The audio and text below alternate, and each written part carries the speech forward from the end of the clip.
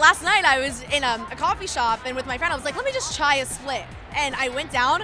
I could not get back up. I was falling over. It was a mess. She had to like lift me back up, but this should be interesting.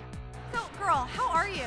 I've been good. I've been good. You were in New York. I was in New York. I'm going back on Sunday, which is crazy. I've been there so much. I'm from there. I'm from Right, Brooklyn. yeah. Which I think I saw you. I've seen you there before. I think you have, yeah. But I go back and forth as much as I can and like see old friends and everything. So I've been there a lot. And it's so crazy. I mean, so Jessie just ended, which I feel like was last week, but it's been a while. It's been a little while, yeah. We started Bunk'd and we finished first season of Bunk'd. I mean, it's crazy. Time flies. It's been flying faster than ever lately, though. And you guys are already definitely doing season two of Bunk. Only doing season two.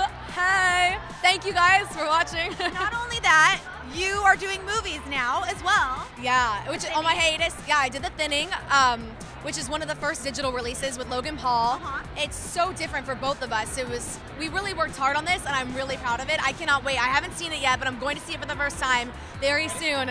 So I can't wait. I'm actually really nervous to see it. It's always nerve-wracking to watch myself on screen.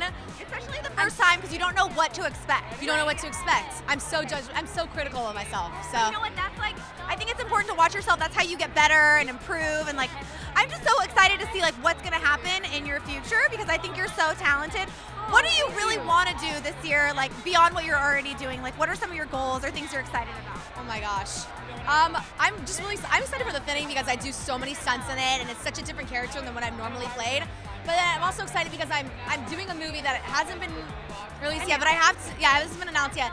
But I'm playing a gymnast. So I'm the least flexible person ever. you're so like I'm really tall too. Tall. This is like the worst thing. But last night I was in um, a coffee shop and with my friend I was like, let me just try a split. And I went down.